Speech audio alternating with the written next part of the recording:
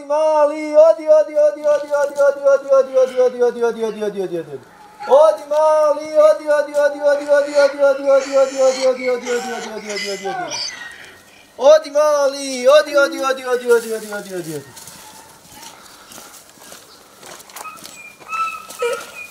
Pode hoje. Qual outra agora? Ah, ah, ah. Hotel je potice moje. Pa dođite. Dođi, dođi, dođi. Ovako kupimo starog hljeba. Svaki dan, to je njima poslastica. Kome nisam dao? Pa hote i vi gore. Krenuli su od jedne magarice, a danas imaju stotinu i četiri. Na farmi na kojoj cijela porodica radi nema stresa. Iako je mnogo obaveza, Alen Jusupović, pokretač i vlasnik farme, kaže kako ovaj posao za njih predstavlja idilu. Okruženi zelenilom prirode, vrijedna porodica Jusupović svakodnevno brine o magarcima i konjima na farmi, a uspiju proizvesti i razne proizvode od magarećeg mlijeka. Sve je počelo prije devet godina kada je Alen odlučio sudjelovati na takmičenju i prezentovati svoj projekat Mali farmer. S obzirom da su mu roditelji tada bili nezaposleni, a on tek na studiju, želio je pokrenuti nešto čime bi poboljšao ekonomsku situaciju, ali i pobjegao u seosku idilu koju i danas voli više od grada. Pobjedom na takmičenju Alenu se pružila mogućnost da svoju ideju ostvari, što je na posljedku i učinio. Danas, devet godina poslije, kaže kako se nekaje i kako u ovome vidi svoju budućnost. Pa ja sam najsretniji čovjek na svijetu i stvarno uživam u ovom poslu koji radim, odnosno koji radim, jer ovo je porodični posao koji smo mi pokrenuli prije devet godina zajedno vlastitim snagama i evo stvarno smo, uh, pa ajde mogu reći da smo na 50% naše mašte i naše ideje koji smo osmisli, idemo dalje, radimo, trudimo se i stvarno smo zadovoljni ovim, ovim poslom kojim radimo. Kako si se odlučio baš uh, da otvoriš farmu magaraca? Pa to je u stvari na, na fakultetu. Napisao sam najbolji biznis plan na takmičenju, imam ideju, to je ta neka famozna priča koju uvijek ovako pričam na, o, u intervjuima, ovaj, gdje sam o, osvojio 4000 dolara zajedno sa roditeljima koji su bili bez posla, onako, pa bili smo u toj nekoj poprilično teškoj situaciji, uh, pokrenuli smo faru magaraca, ne bi je vjerovatno pokrenuli da, sam, da, da smo imali svoje neke pare, ali evo, dobili smo novac koji smo morali opravdati i mislim da smo ga evo poslije devet godina zaista i opravdali. Dakle, da, da nije bilo tog novca, možda i, i ne bi bilo ove farme, ili tako izgledalo? Definitivno, definitivno. Da, da nije bilo te nagrade, da nije bilo tog takmičenja, vjerovatno ne, ne bi ovo bilo što je sada. A otkud baš ovaj plan da, da napišeš uh, vezano za farmu magaraca? Otkud, ne znam, nije farma koza ili nečeg drugog? Kako baš na to da se odlučiš? Pa, suština takmičenja je bila inovativnost. Da se na jedan drugačiji način napiše biznis plan, da, da, da se pokaže e, ta doza kreativnosti u biznisu. I stvarno o, bilo je takmičir, takmičara koji su imali zaista inovativne ideje, ali ovo je, ovo je tema, odnosno ideja koja onako bud, plini pažnju. I zaista ljudi, evo i dan, danas poslije devet godina, kad kažem da uzgajam magarce, tu je osmije, tu je stotinu jedno pitanje. Dosta je ovdje životinja, ali onako, ali lijepa je i priroda, lijepo je okruženje. Uh, baš je divno onako doći samo za posjetiti, za, za sjesti, odmoriti evo ovdje. Uh, vi ovdje provodite po, po cijeli dan ovaj, sa porodicom. Mm. Kako ste se odlučili da baš ovdje živite? Pa vidite, uh, to je stica okolnosti. Roditelji skupili ovdje samo jedan komad zemlji, dulum zemlji da bi napravili kuću. I onda je to čekalo uh, neke bolje dane da se nastavi sa tom gradnjom. Nakon što sam ja osvojio nagradu, postavili smo šator pa je to bila pa zaista jedna bajka, vjerujte mi kad vam kažem da je to ovaj na, na komadu zemlje postavite jedan šator i, i, i gledate u poljanu i zamišljate stotinu magaraca, to je bilo prije devet godina i sad poslije, poslije devet godina taj san ja živim. Tako da ovaj roditelji su bili velika podrška, uh, brat, tadašnja djevojka, sadašnja supruga, zaista mi je bila ogromna, ogromna podrška, tako da kažem vam, jedinstvo porodice je u, u jednom biznisu najbitniji i najvažniji. Najbitnije je svakako, je tako, ta podrška, ovaj, jer bez toga ne može se... Definitivno, ja da sam sam htio, mogu imati najbolju ideju na svijetu, ideja koja graniči sa nekim američkim snovima, ali ako to porodica ne podrži, mislim, džaba čovjek u svetu. Evo kada govorimo o tim početcima, kako je bilo to ovaj, kada ste kratali, sa koliko magaraca ste krenuli, kako je to sve? Pa prvo smo kupili jednu magaricu koja se oždrijebila poslije 13 dana i vjerujte, to ždrijebljenje na farmi je, je jedan vjetar u leđa koji nas je stvarno gurnuo u ovaj posao, jer da se to nije desilo, možda bi mi čak poslije godinu dana odustali. Ali nakon tog prvog ždrijebeta još smo nekoliko magaraca dokupili, ali u suštini mi nismo prvu marku zaradili uh, od magarećeg mlijeka, što je osnovna ideja. Mi smo prvu marku zaradili uh, kroz turizam. Mhm. Bilo je spontano, ljudi počeli dovoditi djecu, pa sam ja čak i svoju prvu stipendiju koju sam dobio, uh, uložio, kupili smo konja, pa je tu bilo jahanje, vjerujte, znao sam po, po 100-200 maraka da, da o, zaradim dnevno samo na jahanju, tad u to vrijeme. Sad je to naravno malo ovaj, splahnulo. Zbog pandemije ove vjerovatno. Pa i zbog, onako... i zbog pandemije i generalno ljudi su, ljudi uvijek traže nešto novo. I to je naša neka filozofija u čitavom biznisu, u, u, u vođenju farmi, da mi konstantno moramo inovirati. Jer ako ne budemo inovirali, jednostavno vrijeme će nas pregaziti svakodnevno se mora nešto ulagati i naravno ovaj uvoditi neke novine.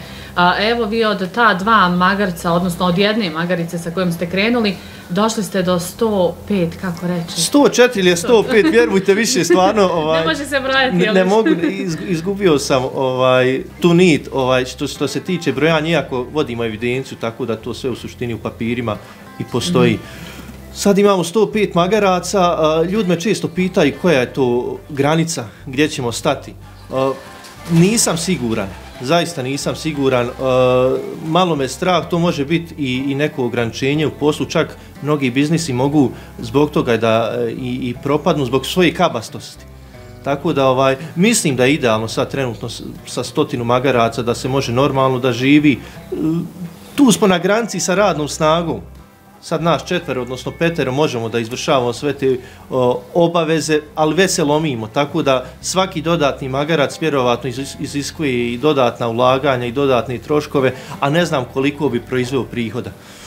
Koliko magarica onako ima koje su za mužnju, koje su za mlijeko? Evo? Mislim da sad u ovom trenutku ima oko desetak magarica koji se muzu, a preko 50 ih je odrasli koji su polno zreli i koji mogu potencijalno da, da daju mlijeko iako je ovo u suštini slobodan pripust, tako da su ovaj nekoliko magari, magaraca, muški je sa magarcama i tako da mi njima odlučimo i tako da oni ovaj kad su u fazi tjeranja, oni sami uh, odluči kada će biti to tjeranje, mi, mi na to puno ne utičemo. Kako se naučio sve o magarcima, evo? pa da kažem da mi je fakultet pomagao, jeste zaista. Ja sam, ovaj, prvo sam završio ekonomski fakultet u Sarajevu, a onda sam magistrirao na poljoprivrednom fakultetu. Pa imao sam dosta kontakta i s profesorima, zaista su mi dosta izašli u susret. E, nažalost, malo je znanja o uzgoju magaraca. Ovo je, ova farma je u suštini jedan veliki eksperiment.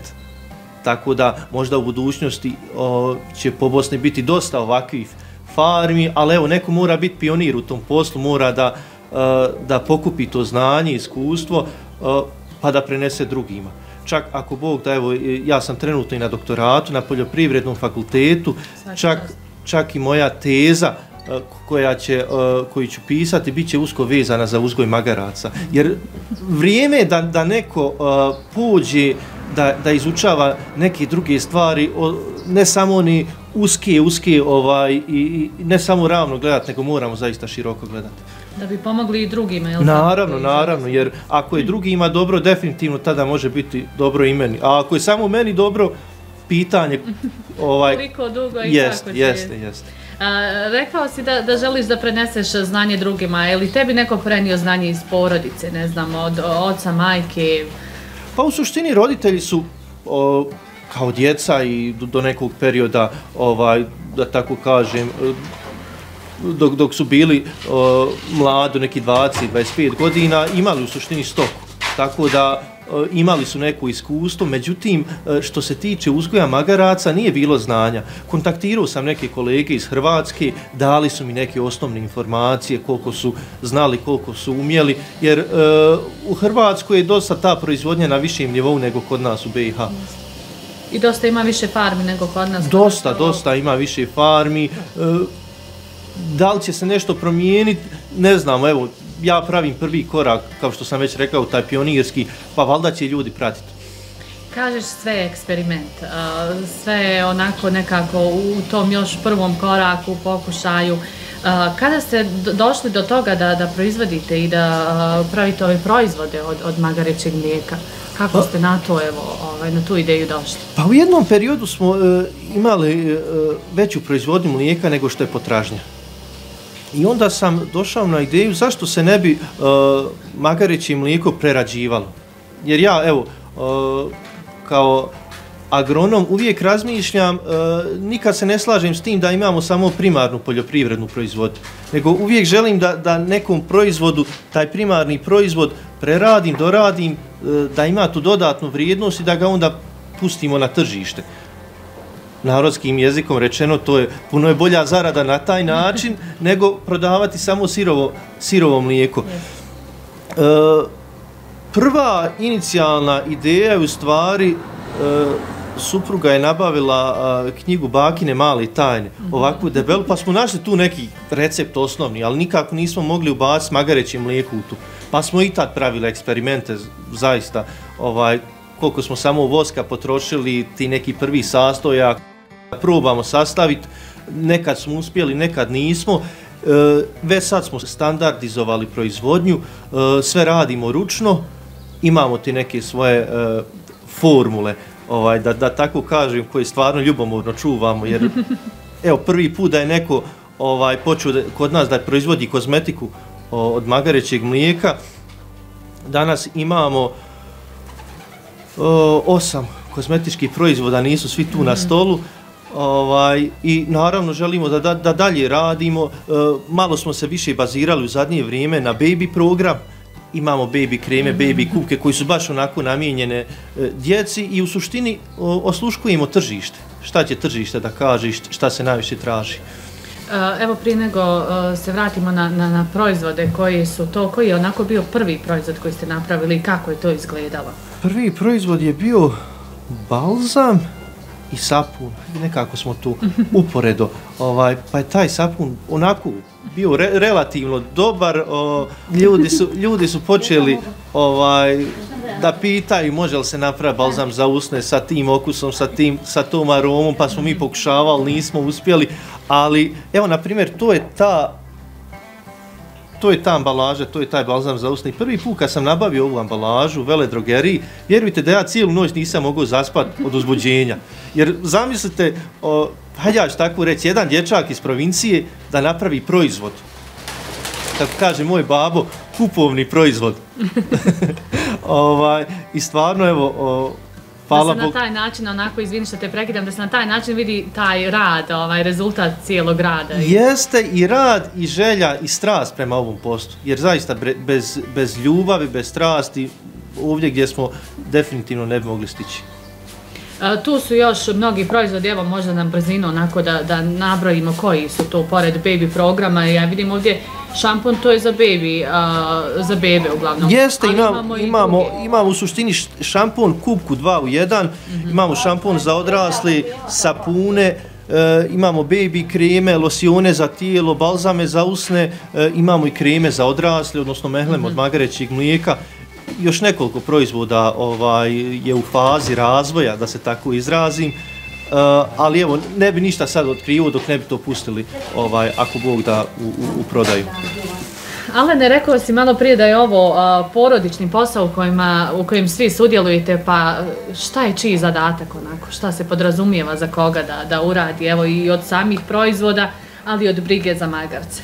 Pa u ovom poslu mama i babo snosi najveći teret da kažem, ja sam o, o, onako ti soft skills ovaj poslove uh, maksimalno što se tiče uh, papirologije, birokratije, jer mi smo registrovani od 2015. imamo registrovan obrt mali farmer, tako da stvarno ima dosta ovaj papirologije što se toga tiče. Brat je zadužen za marketing, e, supruga, ona ima svoj posao kancelarijski, ali evo ona stvarno maksimalno izađe u susret, pomogne kod pakovanja proizvoda ko, ko, i u ambalažu i pripremanje za brzu poštu, e, distribuciju proizvoda i tako. Evo, rekao si malo prije da, da je bilo onako baš taj period kada si pokrenuo ovaj posao, da je bio nekako teško u porodici, roditelji nisu bili zaposleni. Kako je sada, evo, e, isplatili se ovo, s obzirom da tolike godine radite, vjerujem da, da, da se isplati, no, no koliko i, i, i da li je onako, da li opravdava sav uloženi trud? Definitivno da opravdava. Znači, može jedna četvročlana, petočlana poraca, može normalno da živi, i da se ne sekira za egzistenciju. Ne mogu reći da, da, se, da, da će se postati od ovog uh, milionir, ovaj, ali definitivno može se uh, najnormalnije da, da, da se živi. Da, ja često navodim primjer kad prođem prodavnicom sa svojim djevojčicom, ne moram razmišljati ako mi nešto traži, hoće li kupiti ili neću. Znači, mogu i nešto bezbježiti što ona želi, neki slatkiš. I to je meni stvar najveće bogatstvo da ja ne moram ovaj razmišljati imam li ja u džepu marku ili nema. A, s obzirom evo da se definitivno isplati, vjerujem da ne razmišljaš a, o nekom poslu, ne znam, u struci a, za drugog nekog, jer ti evo koristiš i to svoje znanje koje si stekao na fakultetu. Hajde, neću reći nikada, ono, kažu nikad ne reci nikad, ali zaista ne razmišljam da, da radim za drugog, jer e, pa volim slobodu i ja kada sam slobodan, ta, tad sam najproduktivniji čovjek, a, a, takav, takav sam karakter, a, ako mi neko stavi okove, onda definitivno ne mogu funkcionisati. Kako, kako je evo supruga, tadašnja djevojka kad si započinjao s ovim, kako ona zavoljala sve ovo?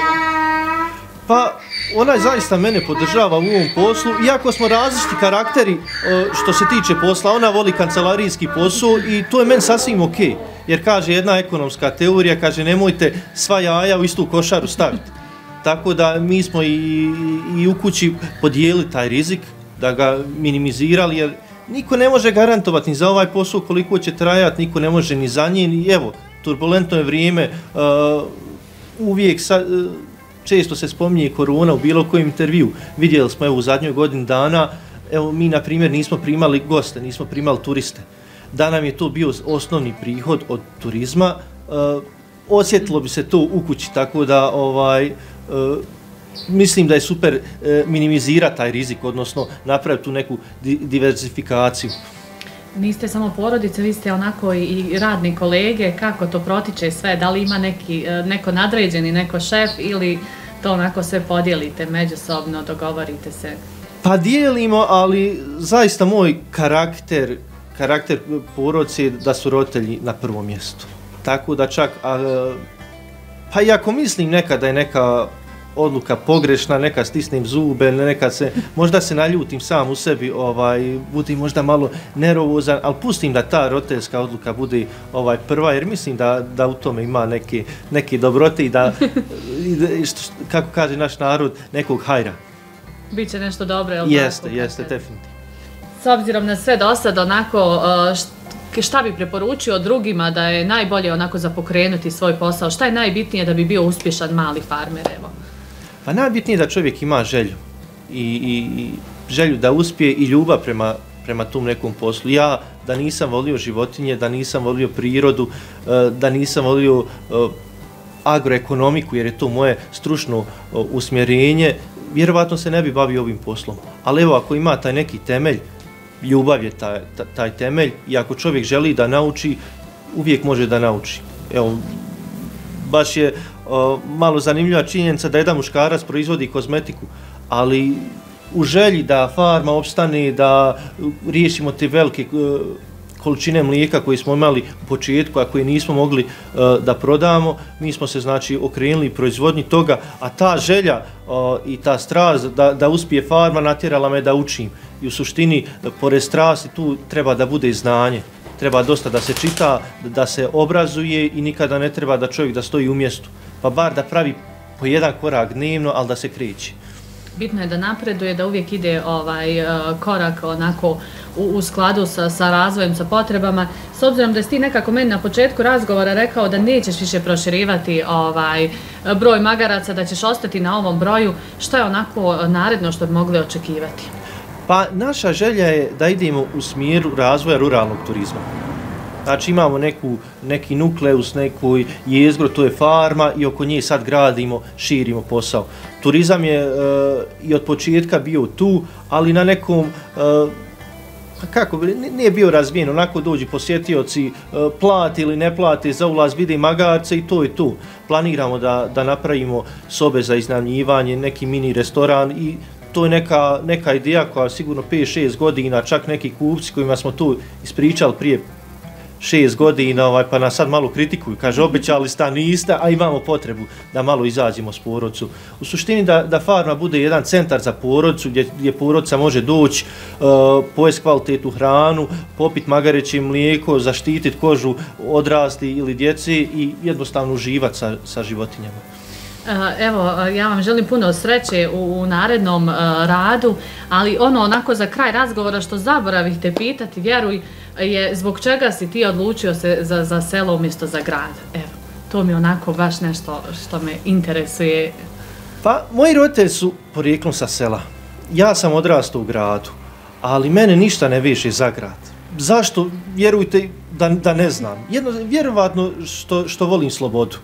I evo, e, je, ja radim jedan posao koji je malo drugačiji od ostali. Obično ljudi sa sela rade u gradu, pa se vraćaju. Ja živim u gradu, o, tu sam sa, sa suprugom i čerkicom u stanu i taj stan je za mene jedna vrsta zatvora, jer ja tu dođem i prespavam. I super je biti u gradu, tu je blizu i bolnica, i opština, i sve, sve institucije koje treba da čovjek e, da funkcioniši. Ali na selu je ta neka ljepota povezana sa prirodom i sreća. U gradu je moranje, a na selu je sreća. Evo ja se tako izrazim. U druženju sa Alenom, ali i predivnim magarcima, naročito sa onim najmanjim, zbilja uživa smo, pa nam odlazak sa ove farmerske idile teško pade. Farma, pored divnih životinja, odlično je mjesto i za opustiti se i odmoriti od svakodnevnih briga. Stoga sa nestrpljenjem čekamo etno selo koje porodica Jusupović planira izgraditi. A do tada i vi možete kao i mi uživati u igri sa magarcima i jednodnevnim izletima na ovu farmu.